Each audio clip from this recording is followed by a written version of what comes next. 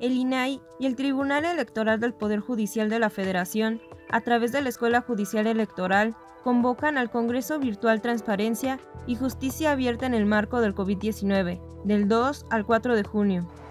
El propósito es discutir y analizar la necesidad de contar con mecanismos de transparencia y justicia abierta para garantizar los derechos fundamentales frente a la crisis sanitaria ocasionada por el brote de COVID-19.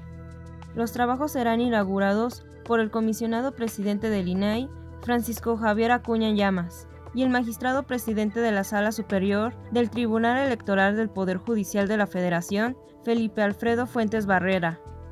Los trabajos del Congreso inician el 2 de junio a partir de las 10 horas y serán transmitidos por las redes sociales de las instituciones.